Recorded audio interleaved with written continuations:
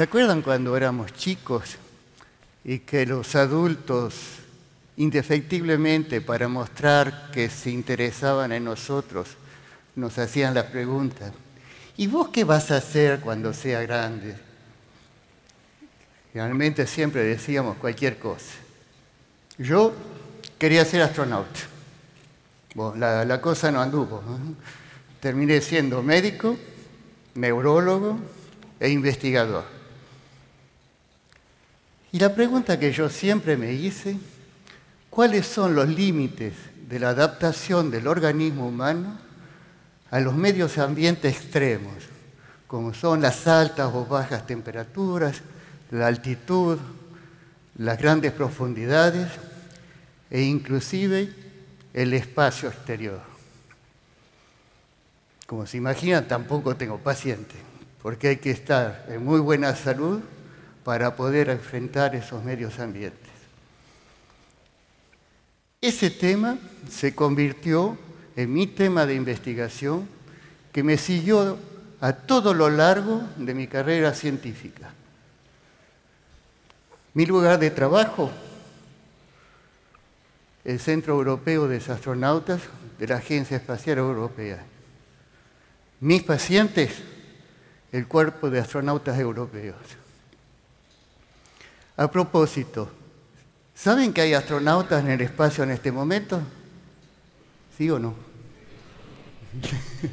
sí, desde 2001 hay una, presencia humana permanente en el espacio. Seis astronautas de diversas nacionalidades pasan seis meses en la Estación Espacial Internacional. Todos los seis meses hay tres que bajan y tres que suben. Justamente ayer llegaron a la estación, la ISS, los tres últimos. La ISS, como nosotros la llamamos, la Estación Espacial Internacional, es un gran laboratorio científico. Está acá nomás, en el suburbio de la Tierra. Está volando a 400 kilómetros de distancia y a una velocidad de 28.000 kilómetros por hora. Los astronautas dan 16 veces la vuelta a la Tierra en 24 horas. A esa velocidad en lugar de 14 horas, yo mañana podría volver a mi casa en París en 24 minutos. Sería genial. Bueno, los astronautas. ¿Quiénes son los astronautas? Son profesionales técnicos de alto nivel. Son experimentadores, porque ellos ejecutan las experiencias científicas que nosotros, médicos investigadores, concibimos. También son sujetos de experiencia, porque hacen las experiencias sobre ellos mismos. Ahora, por supuesto, la pregunta se van a hacer, si los astronautas están todos sanos, ¿para qué se necesita un médico? Sin embargo, sí, porque mi trabajo, a través de las investigaciones, como la de mis colegas, es hacer que los astronautas puedan superar los problemas físicos y psicológicos que tienen para poder vivir y trabajar en el espacio. Un medio ambiente para el cual la evolución no nos preparó. En la Tierra hay dos factores fundamentales. La fuerza de gravedad, que ha condicionado toda nuestra anatomía, y la alternancia, la rotación de la Tierra y su alternancia de luz, y oscuridad, toda la fisiología. La, fuerza de gravedad ha condicionado nuestra anatomía dando nuestra simetría corporal, más o menos, el sentido del equilibrio, el esqueleto, nuestra masa muscular. Todo eso es condicionado por la gravedad y para luchar contra él.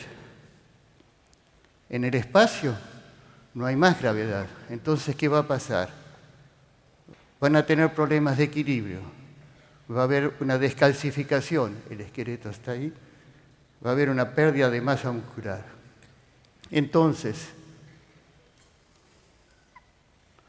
nosotros hemos concebido una serie de ejercicios físicos con un protocolo bien preciso que tiene en cuenta todos los sectores del cuerpo para que puedan mantenerse en forma. Porque además los astronautas no pesan, entonces se estiran, crecen dos, tres centímetros y eso produce dolores. Los petizos no se hagan ilusiones, porque cuando vuelven se achican, ¿eh? así que... ¿eh? Este, entonces, en este momento nosotros estamos trabajando para calmar ese tipo de dolores haciendo un super skin suit, que es el traje que tiene este astronauta, que lo probamos por la primera vez hace tres meses. Yo les hablé también de la rotación de la Tierra y la alternancia entre el día y la noche. Cuando no hay esa alternancia, toda la fisiología está afectada y por supuesto el conjunto de todos los ritmos circadianos de todas las variables fisiológicas. Desde los, de los primeros vuelos espaciales comprobamos que los astronautas no dormían bien. En cantidad y en calidad estaba alterada. La temperatura corporal también. El sueño, la temperatura, el metabolismo la nutrición, porque con todos los cambios metabólicos que yo le dije, la nutrición está afectada. Encima de todo, el medio ambiente de la estación espacial, las largas jornadas de trabajo, de 8 de la mañana a 10 de la noche, para que puedan ejecutar todos los protocolos que nosotros le damos a hacer. y además el ruido constante de la ventilación, hasta 60, 70 decibeles para hacer circular el aire, la luz que no es demasiado intensa. Sin embargo, en 30 años de investigación, nosotros hemos logrado mejorar un poco las condiciones de trabajo, con cosas simples.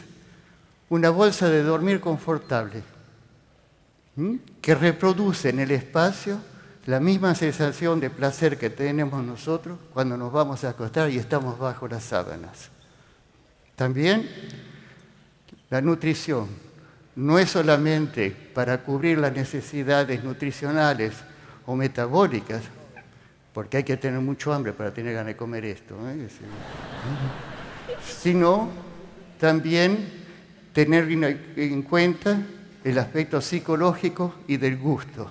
Es por eso que el astronauta Luca Pamitano, en rojo, que es un amigo, llevó a la estación la lasaña de la mama para compartirlo con toda su tripulación. Ese es un momento muy especial para ellos. Y así es que nos damos cuenta que nosotros, médicos, investigadores, hemos hecho algunos progresos.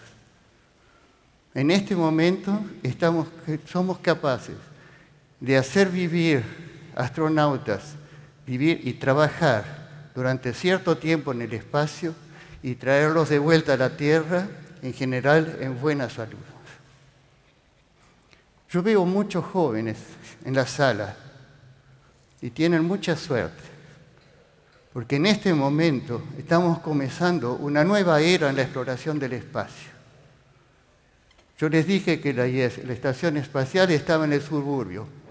Estamos volviendo a la Luna ahora, camino a Marte. ¿Se dan cuenta? Solo 12 hombres han tenido la suerte de poder caminar y trabajar en la Luna entre algunas horas casi tres días. Las imágenes de síntesis que ustedes están viendo ahora no son ciencia ficción en nuestro trabajo cotidiano en este momento. Los que están viendo lo que va a pasar, los primeros robots constructores que van a recuperar el polvo lunar, la regolita, para construir el primer abrigo a partir de 2025. Una vez que la primera construcción esté hecha, tres años después, el hombre va a llegar. Primero en unos días y después se va a instalar en unos meses. Eso es muy rápido en video, van a tardar más de tres meses en hacerlo.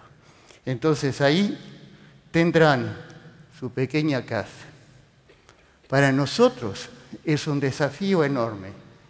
Tenemos que prever nuevos protocolos de entrenamiento para que los astronautas cuando estén caminando sobre la Luna puedan estar preparados para cualquier eventualidad. Tenemos también que tener o ingeniar sistemas de monitoreo de salud para poderlos controlar. Para detectar si hay un problema tenemos que poder hacer el diagnóstico. Y si ese problema existe, tenemos que intervenir terapéuticamente sin asistencia médica cercana. Eso para nosotros es realmente importante. Y eso de ir a la luna es solo la primera etapa para seguir a Marte, que es el objetivo. ¿Saben? Después de muchos años de haber trabajado en el dominio del espacio, en la NASA y en la Agencia Espacial Europea, yo me doy cuenta con mis colegas que en este momento nosotros estamos enfrentados al mismo tipo de problema que tenían nuestros predecesores, los médicos del proyecto Apolo. Ese proyecto Apolo, que en mi juventud, como toda mi generación, soñó con ese proyecto. E indefectiblemente ese proyecto del hombre a la luna influenció en mi elección y mi orientación profesional. Y ahora ese proyecto sigue estando presente.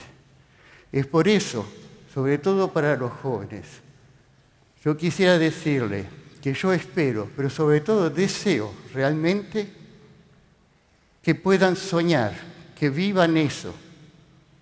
Y con este poco tiempo que he estado con ustedes, yo espero haberles pasado un poco de mi entusiasmo y de mi pasión. Muchas gracias.